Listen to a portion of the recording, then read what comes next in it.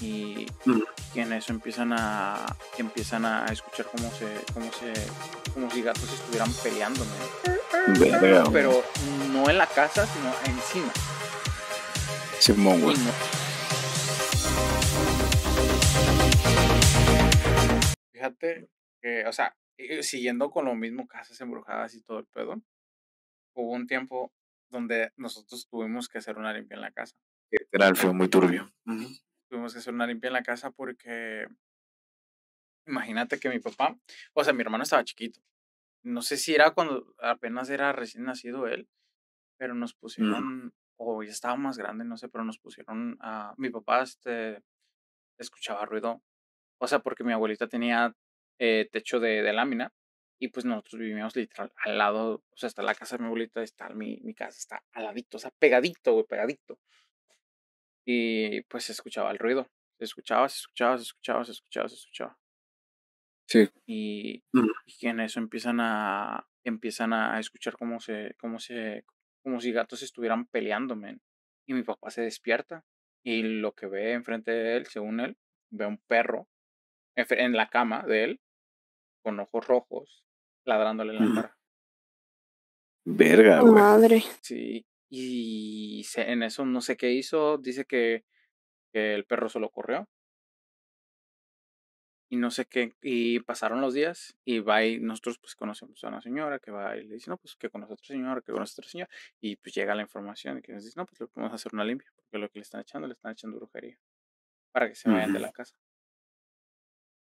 Y nosotros nos quedamos, y bueno, mis papás en ese tiempo, yo me acuerdo vagamente, pero ya luego retomamos la, eh, una noche cuando estaba ahí con- tomando café con ellos, le, le ve- salió el tema del, de, de este mismo tema de cosas paranormales y pues salió la historia. Y yo me acuerdo vagamente más o menos de lo que pasó. Y, Sí, güey.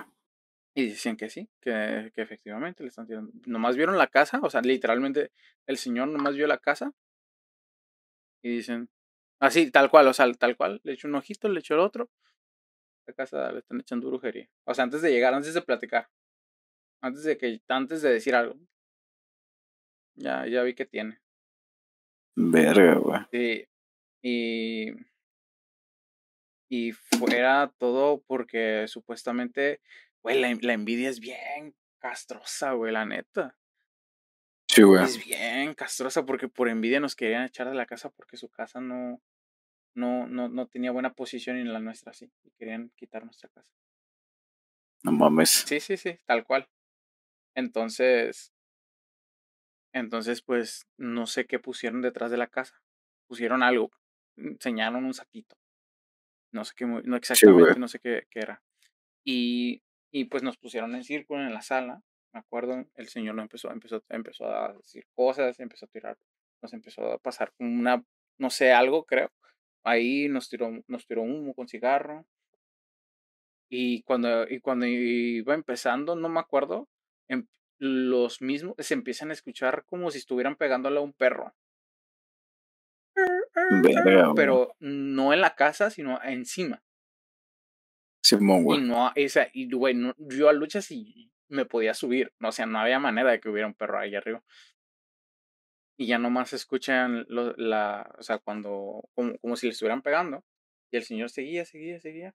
Y nosotros teníamos que tener los ojos cerrados y nomás se escucha la, la lámina. Y corre el perro. Y, se- y eso fue cuarto por cuarto, por cuarto, por cuarto, por cuarto, para que no, no regresara. O sea, hicimos limpia en todos los cuartos. Y, güey, ¿Qué güey? ¿Cómo estás? Y, güey. eh, y de esas sí, historias sí, hay varias. O sea, en la casa sí la han. mm, A mi mamá la otra vez. Este. Estaba agarrando el. Pues mi mamá vende comida. Y. Oh, qué chido. Sí, vende desayunos. Y eh, era una máquina de, de moler hielo. La estaba moviendo. Y en eso que se le va el brazo. Y se le tuerce.